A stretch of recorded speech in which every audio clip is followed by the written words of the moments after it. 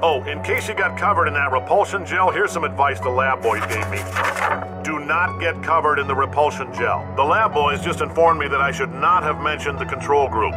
They're telling me I ought to stop making these pre-recorded messages. That gave me an idea. Make more pre-recorded messages. I pay the bills here, I can talk about the control group all damn day.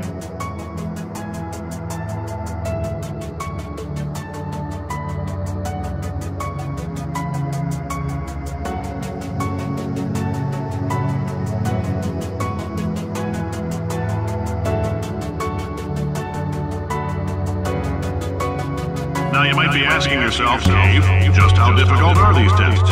What was in that phone book of a contract I signed? Am I in danger? Let me answer those questions with a question. Who wants to make $60?